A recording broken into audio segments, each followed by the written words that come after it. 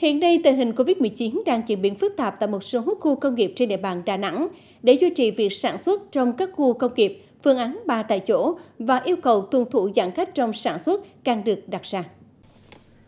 Tại nhà máy sản xuất linh kiện hàng không vũ trụ Đà Nẵng Sinsai, gọi tắt là công ty UAC, khu công nghệ cao Đà Nẵng, nơi ăn chỗ ở cho công dân luôn sẵn sàng. Đây là một trong những doanh nghiệp đầu tiên trên địa bàn Đà Nẵng triển khai mô hình 3 tại chỗ, ăn, ở, sản xuất tại chỗ. Với gần 700 cán bộ công nhân viên, để đảm bảo giãn cách, hạn chế tiếp xúc, doanh nghiệp này đã chia làm 3 ca sản xuất. Một số người làm công việc đặc thù được bố trí làm việc tại nhà, hạn chế đến công ty. Nhờ vậy, chuỗi sản xuất tại công ty này không bị đứt gãy, gián đoạn, ngay cả thời điểm doanh nghiệp này từng xuất hiện một ca dương tính với COVID-19.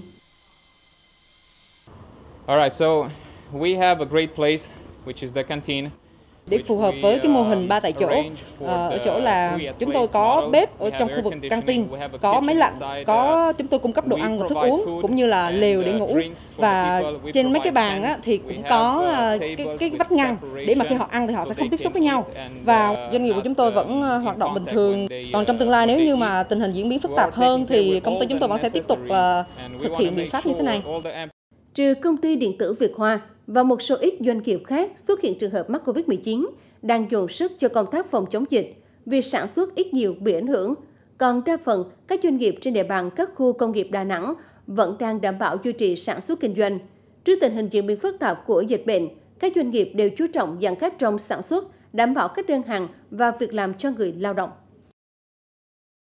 Để đề phòng tình hình dịch càng ngày càng xấu đi, thì công ty phải thực hiện cái biện pháp ba tại chỗ, sản xuất tại chỗ, ăn tại chỗ và ngủ tại chỗ. Hiện nay thì à, cũng rất mừng là à, công ty vẫn hoạt động với đúng công suất thiết kế. À, bởi vì như cái, cái, cái nhu cầu của giấy và bao bì cọc trong dành cho tiêu dùng và xuất khẩu vẫn rất là lớn. Cho nên đến nay thì sẽ ờ, không bị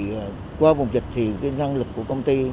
và cái công suất thực tế vẫn được duy trì ở mức độ tốt. Ban quản lý khu công nghệ cao và các khu công nghiệp Đà Nẵng cho biết, trong bối cảnh hiện nay, việc tổ chức phương án 3 tại chỗ và yêu cầu tuân thủ kiêm việc giãn cách trong sản xuất là biện pháp quan trọng. Cách làm này tuy khiến chi phí tăng nhưng có thể đảm bảo an toàn sản xuất cho cả hệ thống. Ban quản lý và các cơ quan chức năng sẽ tăng cường hướng dẫn, hỗ trợ doanh nghiệp thực hiện đảm bảo hiệu quả. Nhằm để cho cái doanh nghiệp ổn định sản xuất à, và đồng hành cùng chống dịch tại khu công nghệ cao và khu công nghiệp thì ban quản lý chúng tôi đã triển khai đến tất cả các doanh nghiệp trong khu công nghệ cao và các cái khu công nghiệp à, một phương án ba tại chỗ. Về phía ban quản lý chúng tôi thì luôn luôn đồng hành cùng doanh nghiệp hỗ trợ à, trong cái công tác à, à sản xuất à, công tác phòng chống dịch à, để mà đảm bảo được cái mục tiêu kép vừa chống dịch vừa ổn định sản xuất phát triển kinh tế.